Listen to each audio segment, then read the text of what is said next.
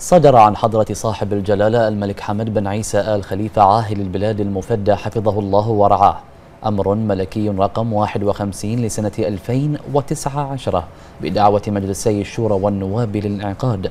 وجاء في الأمر الملكي أنه يدعى كل من مجلسي الشورى والنواب للاجتماع عصر يوم الأحد الثالث عشر من شهر أكتوبر 2019 لإفتتاح دور الانعقاد الثاني من الفصل التشريعي الخامس.